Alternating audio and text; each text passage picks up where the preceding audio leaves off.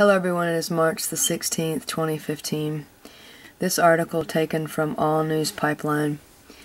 Silence of death, hundred, hundreds of millions of people are going to die, yet the mainstream media is silent. Why? The United Dead Zone of North America.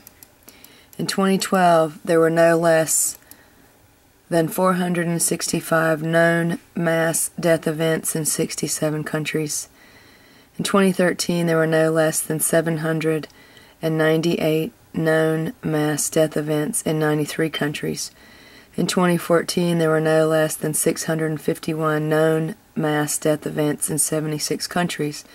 And from January 2nd, 2015, up to today, February 25th, 2015, there are no less than 124 known mass death events in 37 countries and we still have 10 months to go for the final figures. Whether one believes in biblical prophecy or not, there is no doubt that the Bible does speak of events such as these as evidenced by Revelation chapter 8 verse 9, which states that a third of the living creatures in the sea died, and a third of the ships were destroyed. And Hosea chapter 4 verse 3, which states, Therefore shall the land mourn, and every one that dwelleth therein shall languish, with the beasts of the field, and with the fowls of heaven, yea, the fishes of the sea shall also be taken away.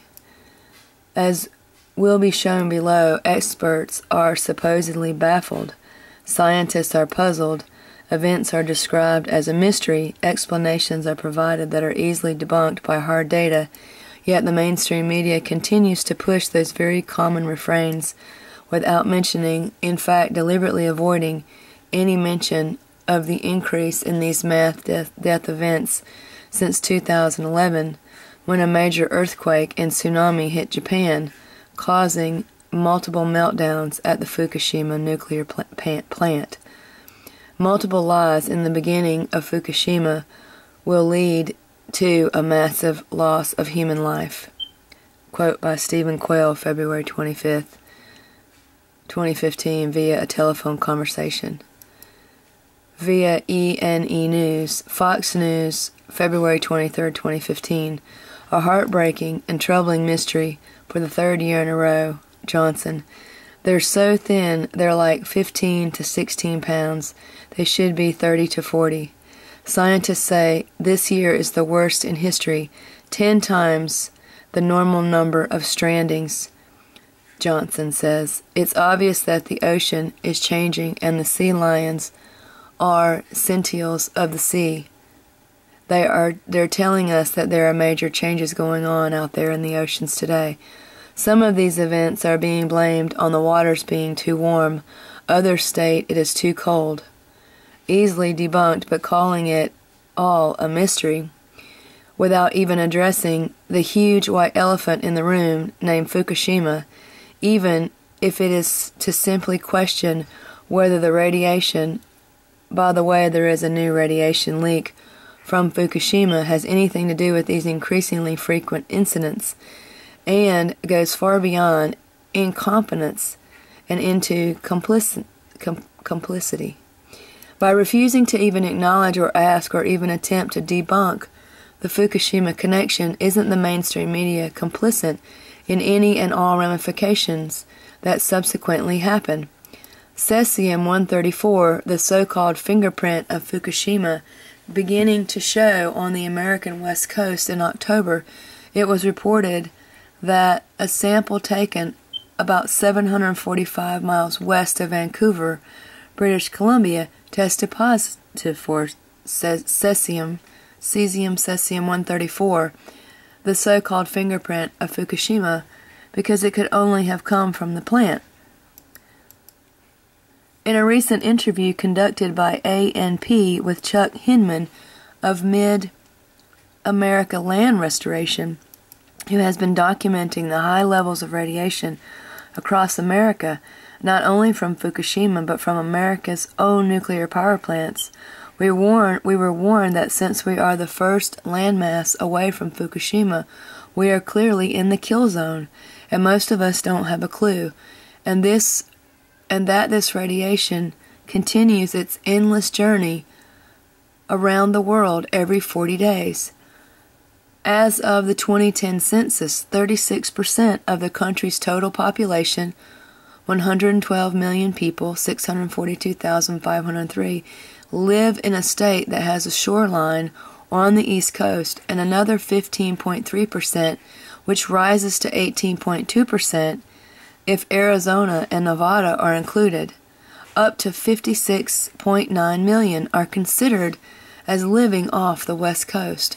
Over half of America's population live in what is considered the coastal plains. The food chain. Take a good hard look at the chart below, and we get into how it isn't just radiation effects on human be- beings, such as cancer, birth defects, etc., that we are speaking about when we discuss the deaths of hundreds of millions globally from the Fukushima disaster. And you can see this picture of the food chain and what's happening. When we see news since 2011 about sea stars turning to goo, or the population of bluefin tuna in the Pacific Ocean declining by 95%, or sardine, anchovy, and herring populations dramatically dropping, or the more recent reports of dead sea lions littering the beaches of Malibu, and the collapse of the razor clam population across Kenai Peninsula beaches, prompting the Alaska Department of Fish and Game to close most of them to clamming for the rest of the year, or any of the other hundreds of reports, we begin to understand the, co- the scope of the disaster which we are watching happen right now as reports of planktons dying off filter through the internet. From Viva Labs krill oil, the ocean is such a massive expanse that it might seem that there is not much order or system underwater. Surprisingly, though, it's completely the opposite. Even though there are so many different types of fish, mammals, plants, and smaller creatures that make their home within the ocean, they all depend on each other very heavily. There are several levels of the oceanic food chain. At the very bottom are the many tiny creatures known as phytoplankton and zooplankton. Some of them are small enough to be made up of only one cell. However, these tiny organisms are not to be taken lightly.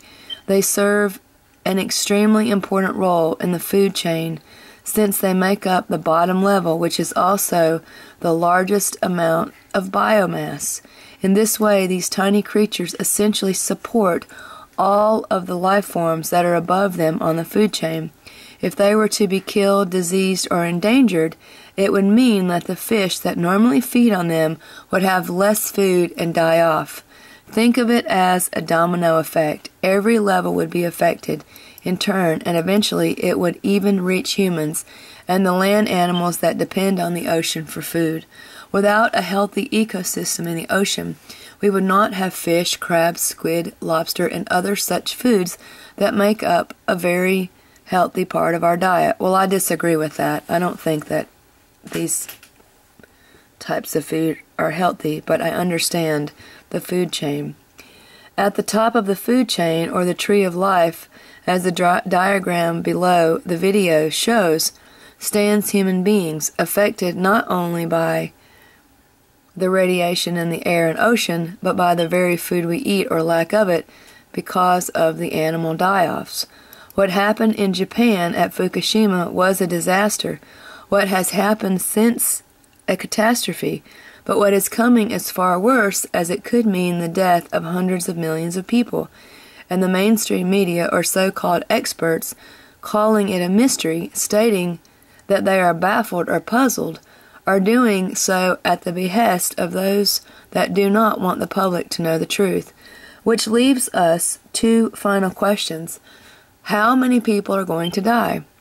Who has the most to gain by hiding the truth from us? And you can see this video link, the United Dead Zone of North America. There's a seven minute video here. Then underneath it is Fukushima News 915 2014. Fukushima plutonium suspected in Pacific Ocean food chain 14 minutes, that video. Then there's ocean plankton infected, global die off begun, now irreversible, global extinction. That is a 13 minute video. And then here is another diagram of how the animals and plants all affect each other from the top to the bottom and vice versa. And that's the end of the article. But yeah, I mean, there's so many of these deaths going on. And frankly, you know, I wouldn't be eating any fish out of these oceans. I'm a vegetarian, and, you know, I know there's different opinions about that, and I'm not pushing anyone to be a vegetarian by reading this article, but it is something to think about that what is out there in these oceans, they're dying. Everything is dying. People, animals, children, we're just being destroyed. And I know this is a really, really serious article. Um, I invite you to check out these links. Um, I invite you to get some potassium iodide to protect your thyroid um, from radiation and do all that you can to eat healthy and take care of yourself as best you can. I will link below to this article. I hope you have a great night. Thanks for watching.